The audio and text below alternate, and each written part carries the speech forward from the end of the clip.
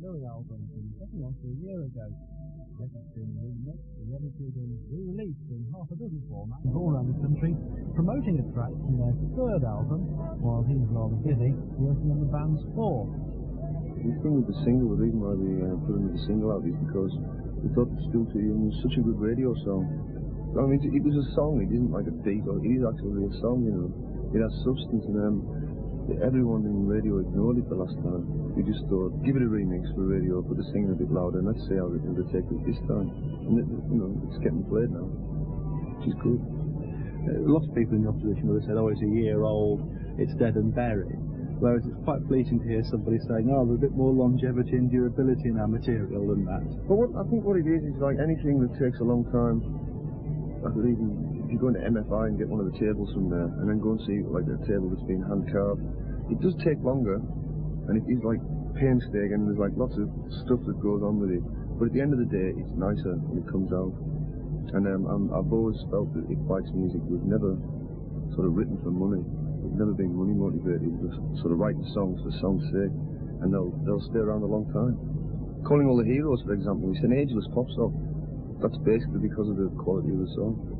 It's interesting you should have mentioned songwriting so much there because a lot of people have concentrated a lot on the instrumental side of the band, haven't they? On the yeah. arrangements, on production, and that side of things. You still feel that it's songs which are arranged for musicians rather than musos just enjoying themselves. You're exactly right, you know, it's a, it's a very long story. It's basically, people are hit with the technical side of it bites, and it sort of puts them off, and it's like underneath there is a song there. You know what I mean? And we had a lot to prove when we were young because, you know, this punk thing, and we always go against the grain. We always have done. And um, we wanted to sort of prove that we could play our instruments. That was a big deal to us, you know. I don't need to do that anymore now. And it's like we were very young, and we, we, were sort of doing stuff that was way ahead of our time. And I, I don't say that sort of big-headedly. I, I, I just uh, I don't have, really have any time for modesty when it comes to things like that. If I'm rubbish, I'll say I am. Um, we were doing things that was uh, uh, musically ahead of our time. We shouldn't have been doing that at 19 years old, and it was scary for people to see that. But um, the, what all I want to do now is sing songs. I just want to sing sincere songs about my life or about whatever I'm going through. I'm growing up. That's basically all it is. I'm growing up.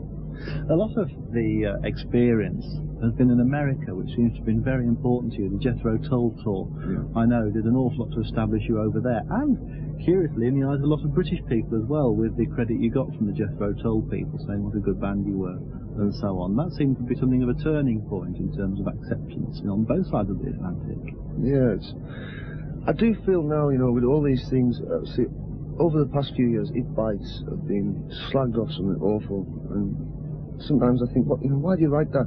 I think I'm starting to really believe now, and this sounds silly, that it's either planetary aspects or whatever you want to call it, has got something to do with this. I'm on an up right now, and um, all of a sudden, Paul Rodgers wants me to write songs with him. There's all these people wanting me to write songs.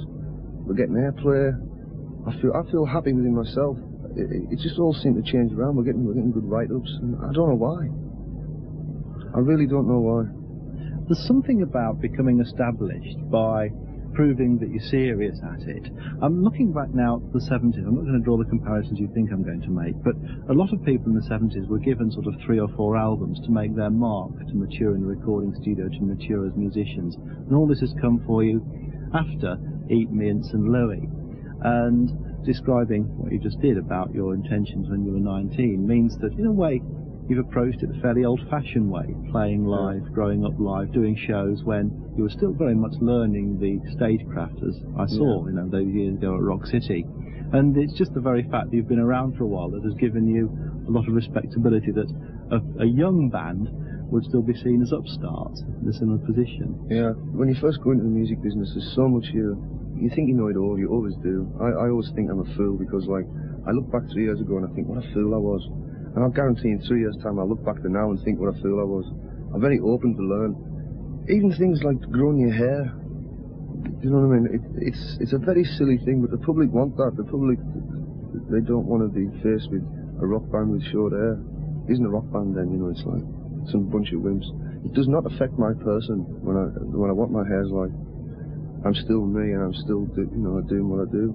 I used to have long hair, and I got as soon as all these bands like King came out with long hair, I got it cut off. Going against the grain, John. As always. Uh, the Yes comparisons have been extremely unhelpful, but it's something you've almost courted, hasn't it, with you know the Roger Dean album cover and so on. Well, we done that for a laugh, just to get back at the press. We just said, you know, they go in the 70s, this is what you want, let's give me. Roger, what are you doing tonight? Do us an album cover. I think the Yes comparisons were true, you know, we used to say, we're not like Yes, but looking back, every musician plays a bit of his influences. And all, see, I noticed that every so often, within these influenced songs, It Bites would poke its head through. And we're sort of trying to, we're looking have an album with this, you know, bring the head right out and leave the influences down. Yes, and, and bands like that helped me a great deal. But I'm really pleased I listened to that sort of music because it helped me be imaginative and creative because they really were for the time. And in fact, they still are, you know. But, um, I would like to do an album of songs that can move people. That's as original as uh, Japan's Tin Drum.